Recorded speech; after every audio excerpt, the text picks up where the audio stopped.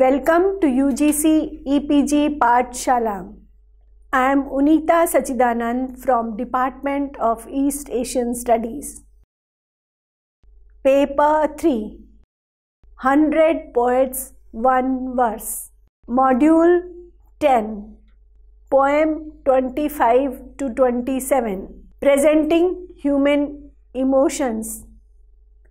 Different Shades of Love UGC EPG Pathshala ようこそデリ大学東アジア研究家のウニタ・サチ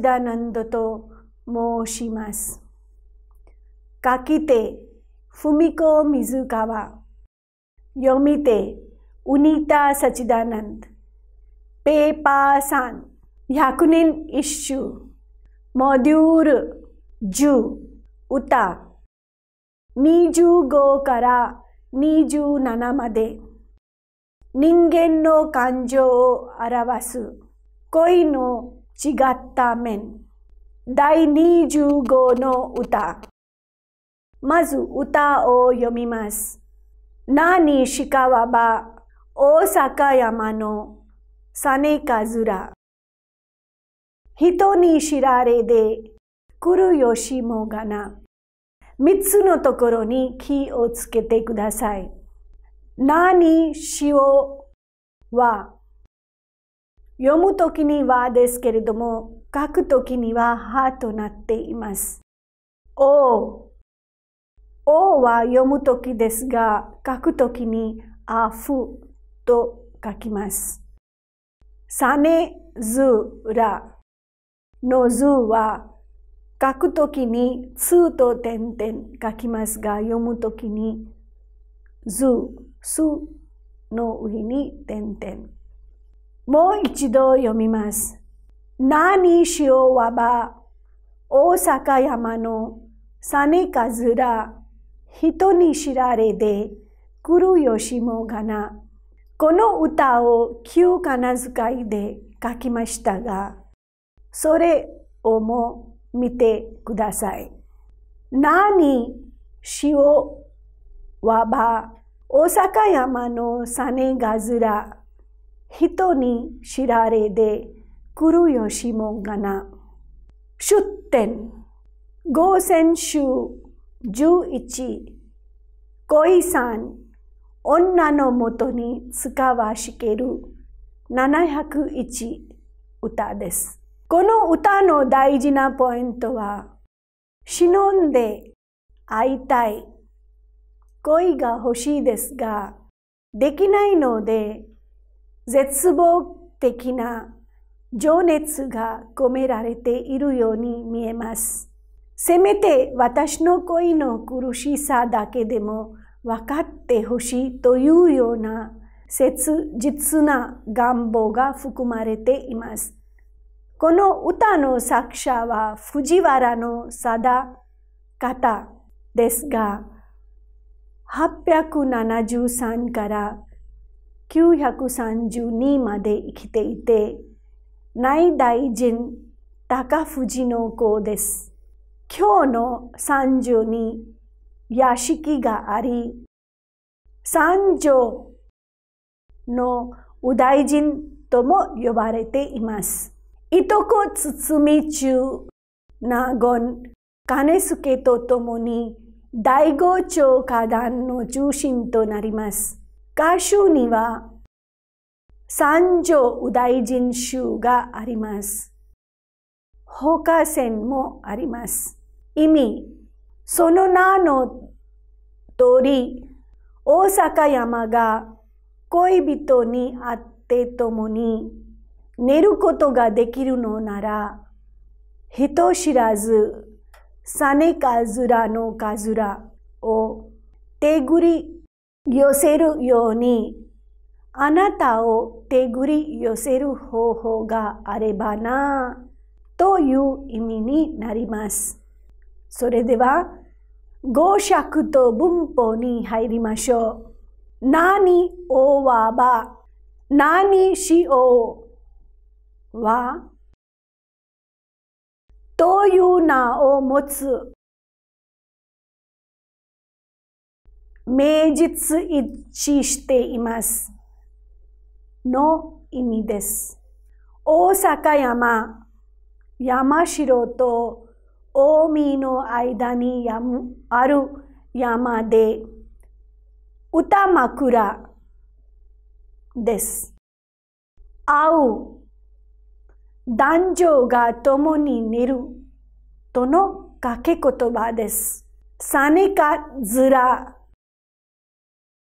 まことくずです。木蓮花の常緑する聖帝木です。木の名前ですが、消化、溶液に炭鉱色の花がつきます。ガズラを取るのに手繰り寄せることから、来るにかかる枕言葉です。さあね、との掛け言葉で、おう、青の援護です。で、打ち消しの接続助詞です。来るよしもがな、来るは、繰り返しの来ると、来ますの来る、二つの来るですが、これは掛け言葉となっています。この二つの来るはね。サネカズラの援護です。もがなは、もが足すなで、願望を表す修助詞で、で、何々があればな、こういう願望の意味です。解説と干渉に入りましょう。萩原作太郎。とても有名な詩人ですが、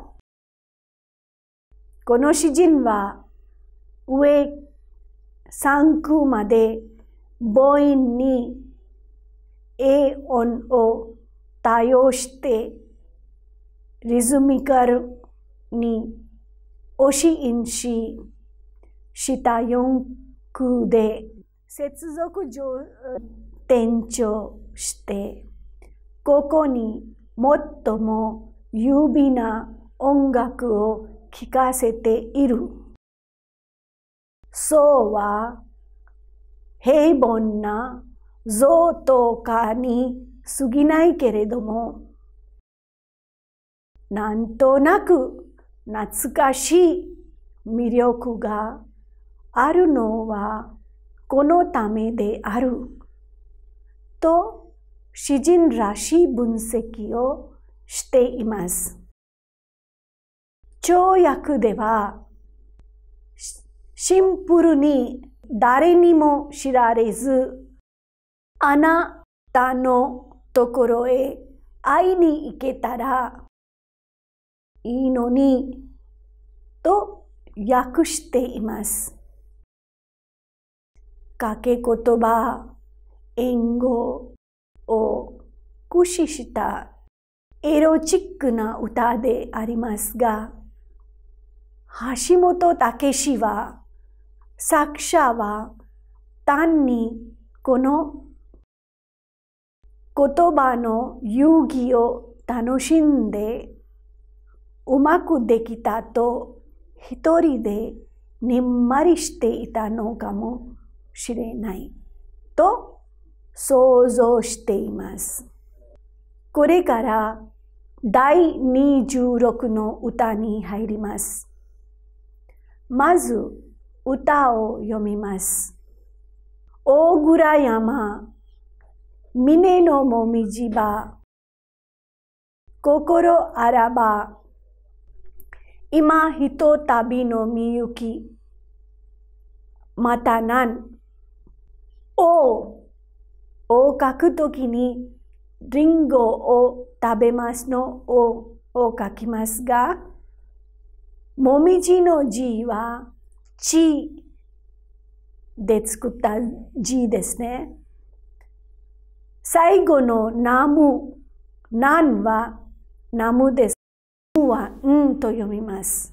大倉山、峰のもみじ場、心あらば、今、ひとたびのみゆきまたなんというふうに読みましたが、旧仮名遣いでも書いてみましたが、それをも見ていてください。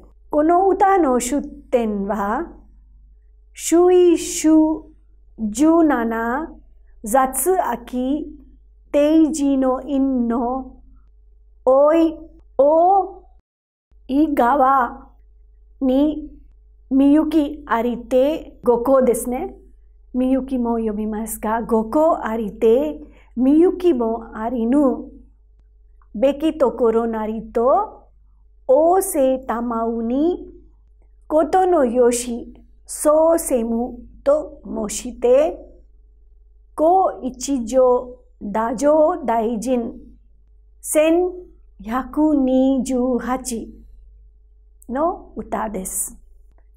この歌のポイントを見ましょう。大倉山はもみじが美しいことで知られています。みゆきまで進めたくなります。こんなに素晴らしい雇用だと思われるほど、この大倉山のもみじが美しいです。というのは、この歌の大事なポイントです。作者、藤原の忠平で880から949まで生きていて、関白元常の子で、太上大臣です。帝神公も言われていますが、兄時平、帝神公、中平と共に三平と呼ばれ、藤原家の政権を安定させました。大鏡は歴史小説ですが、それを歴史について書いた本ですが、それどこかに、ここにあると思います。説明はね、それを見ておいてください。大鏡には、鬼退治をした話が残っています。意味を見ましょう。大倉山の峰のもみじ場よ。心があるならば、今一度みゆきがあるまで散らずに待っていてほしい。という意味です。合尺と文法に入ります。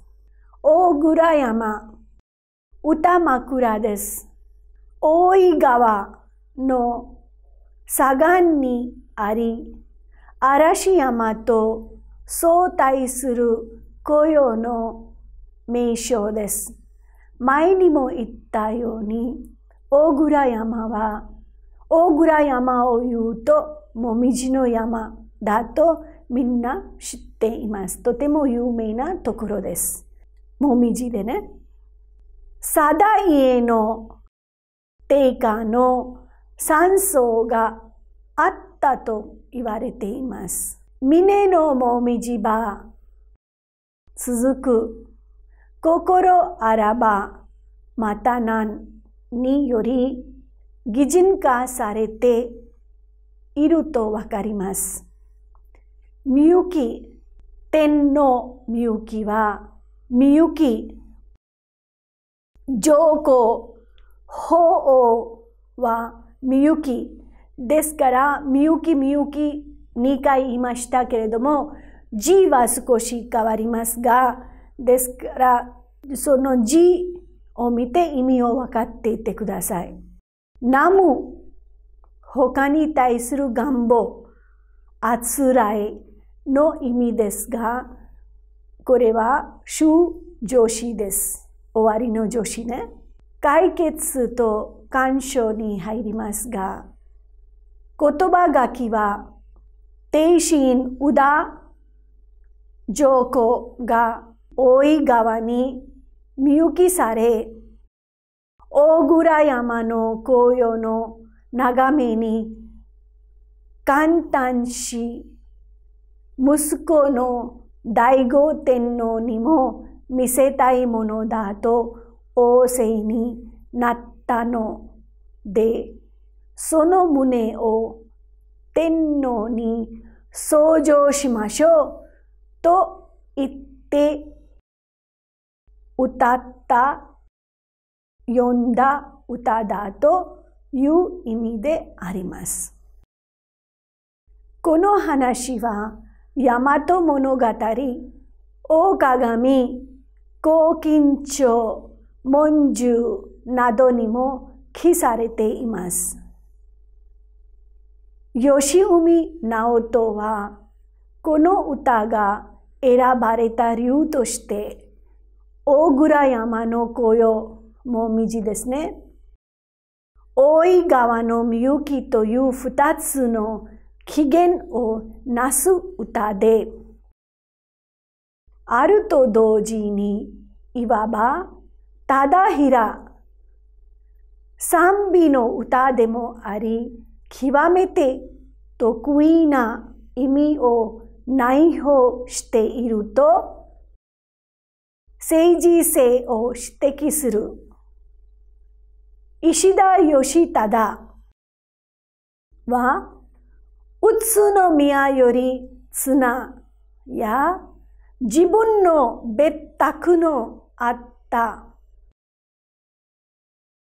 大倉山の美を称える歌を定価が欲しかったのだろう。と推定し、藤平春夫もこれに賛同していると思われます。次に第27の歌に入ります。まず歌を読みます。三日の原、湧きて流るる、伊豆三川、いつみきとてか、恋しかるらん。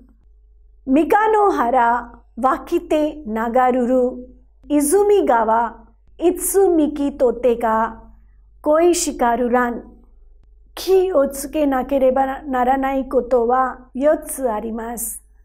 伊豆の図と三河の和と恋の意と乱の運は無ですが読むときに運です。恋の意は書くときに火ですが読むときに恋です。泉の図はつに点々と書いてありますが読むときに泉になりますが川の和は書くときにはと書きますが、読むときに和です。もう一度読んでみましょう。三日の原、起きて流るる泉川、いつみきとてか、恋しかるらん。この歌を旧仮名遣いで書いてみましたが、それを見てください。三日の原、湧きて流るる、泉川、いつみきとてか、恋しかるらん、チューナゴンカネスケという歌人ですね。この歌の出典は、新古今集11、恋1、大知らず996です。この歌のポイントに入りましょう。ポイントというと大事な点ですね。湧き出てくる恋の憧れ。視界ない水量の歌だと思われます。視界ない水量というのは今起こった事実に対する原因または理由を推量することです。まだ一度会っていない恋のことでしょうか一度会ってまだ会えないでいる恋のことか解釈が分かれている状態の美しさはこの歌の魅力だと思われます。この藤原の金助という歌人は877年から933まで生きていて36河川の一人です。藤原利元の子です。十三味チュナゴンに至り、鴨川堤の近くに屋敷があり、堤チュナゴンと呼ばれていました。歌集に金助集があります。本歌は未集です。この歌の意味を見ましょう。三日の原に湧き出て流れる泉川のように、いつあなたに会ったというわけでもないのに、こんなに恋しく思われるのだろうという意味になります。早速、語尺と文法を見ましょう。三日の原、歌枕。ビンハラと表記する。現在の京都府木津川市です。県名店の依頼利休が置かれ、常務店の時代には、京人京、国の都が置かれました。神、三日を埋めたところから湧き水があったと言い伝えが古くからあります。湧きて流るる。湧きは湧き。二つに分けることですね。とは水は湧き、水を湧くの感じになっていますが、ですから分ける湧きと水を湧く湧きの掛け言葉です。また、湧き、水を湧きの湧きですが、湧きは泉の隠語です。泉川、歌枕、傷川のことです。以上の上三句が次の逸み、逸み、字も書いて、何時に見た？ということですね。いつ見、いつ見ました？絵の上言葉です。いつ見きとてか？のみは男女の出会いについてなんですが、きは体験回想の助動詞です。とても面白いですね。かは疑問の係助詞で、後のラムは原因水量の助動詞とかかり結びです。解説と干渉に入りましょう。公金六条では、特人というのは読者ですね。読んでいる人、知らずとなっており、春税のいにしえ三十六に歌合わせ以降、関助作と掲載されています。この歌は、未だ会わずの恋か、あって会わざるの恋か、古来解釈が分かれている。安藤継夫は、前者とすれば、いかにも思わせぶりな歌な歌となる。では、あってあわざる恋かといえば、そうも言い切れないところがあって、観点を変えれば、これは人目を忍ぶ歌、あるいは訪れて拒まれた恋ともみなせる歌であります。さらにまた一種の要をいつ、どんな風に見初めた、ちぎった。とも、定かな記憶もないままに、いつしか恋余る心を持て、扱いかねている男の真理に眺めれば、現に女のもとにいてのむつごとと呼んでも差し支えはなさそうであると解釈の可能性を挙げています。条約ではあなたのことは嘘ばかり聞いていて会ったこともないのに気になって仕方がない。これはもう恋と見合い恋のまだ会っていない恋の未だ会って会わない恋の立場をとっています。